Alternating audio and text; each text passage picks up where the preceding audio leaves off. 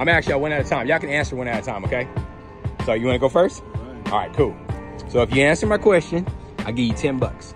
If you're able to go back in time 10 years from today and give yourself one piece of advice that will cause you to have a ripple effect today, what would it be? Stop drinking. Stop drinking. Thank you, sir.